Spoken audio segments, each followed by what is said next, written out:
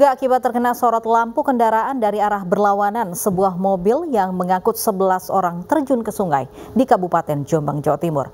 Akibatnya, empat orang menderita luka-luka dan langsung dilarikan ke RSUD Jombang.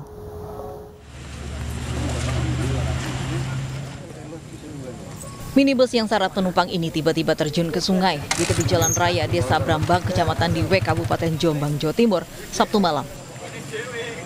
Peristiwa berawal saat mobil sedang melaju dari Jombang ke arah Kediri. Pada saat bersamaan dari arah berlawanan ada kendaraan lain yang melaju kencang dengan lampu jauh yang dinyalakan. Akibatnya, pengemudi mobil minibus tak bisa melihat jalan di depannya. Sehingga mobilnya oleng ke kiri hingga menabrak tiang listrik dan terjun bebas ke sungai.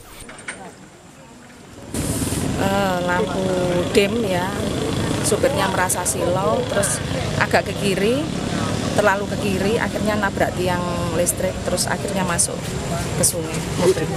Di dalam mobil tadi itu ada berapa orang Bu? Ya total ada 9 yang dewa, eh 11 yang dewasa ada 9 yang anak-anak dua. 11 penumpang yang ada di dalamnya berhasil dikeluarkan oleh warga, namun empat orang di antaranya menderita luka-luka. Seluruh korban luka kini sudah dilarikan ke RSUD Jombang untuk mendapatkan perawatan medis. Dari Jombang, Jawa Timur, Mukhtar Bagus Anyus melaporkan.